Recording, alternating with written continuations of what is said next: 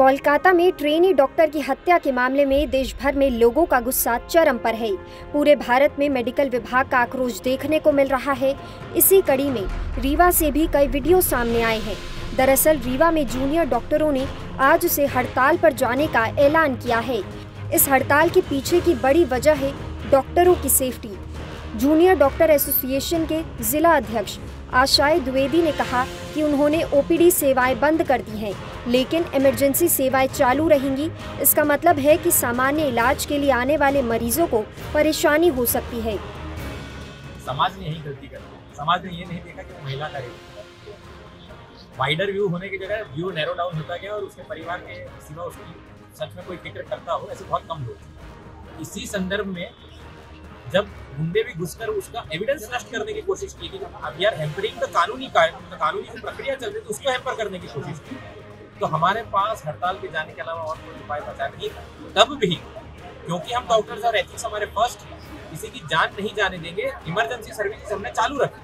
परंतु जो रूटीन काम है जिसमें किसी मरीज़ को अफेक्ट नहीं तो पड़ रहा पर ऑल इंडिया लेवल पे एक मैसेज जाना था कि भाई, ऐसी घटनाएँ आगे ना हो और हमारी जो को रेसिडेंट है, वो तो एटलीस्ट सेफ़ हो। आज मैं अपने आप से जब सवाल करता हूँ कि क्या मैं खुद सेफ़ हूँ तो उसका जवाब नहीं मिलता। गेट पास सिस्टम फॉलो नहीं होता। गार्ड उतनी जगह नहीं रहते। गार्ड होते हैं तो ध्यान नहीं देते उनकी भी गलती नहीं है। कि आठ हज़ार की जॉब में अपनी जान कौन खोएगा अगर कोई अटैक कर देता है तो कौन खोएगा? तो इसके लिए सबको बैठना पड़ेगा गवर्नमेंट को कोई प्लान करना पड़ेगा।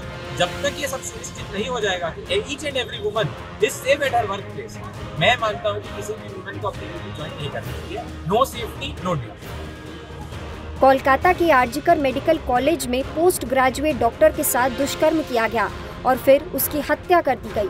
इस घिनौनी घटना ने पूरे देश को गहरा सदमा दिया है। इसी बीच हम आपको डॉक्टर मनीषा का बयान सुनाते हैं। बता दें, doctor Manisha RG Kar medical college की स्टूडेंट रह चुकी है। साल 2014 में उन्होंने अपनी यूजी डिग्री इसी कॉलेज से की है। तब से लेकर अब तक कॉलेज में क्या क्या बदलाव हुए हैं? डॉक्टर मनीषा ने इस बारे में क्या कहा? सुनिए।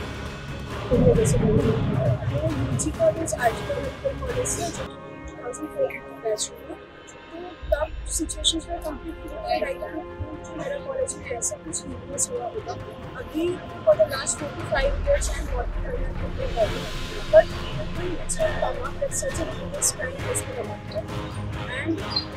famous office principals because many stories are coming up and there is no valid evidence which is true which is not my request to each and everyone across India is that being a girl I feel that a girl is raped and murdered in the heart of the city of Kolkata, and that should be uh, the issue, not doctors. Yes, she was an on-duty doctor, murder that comes later. At this century, a girl has been raped and murdered in such a heinous way that should be a major issue over that she is an on-duty doctor.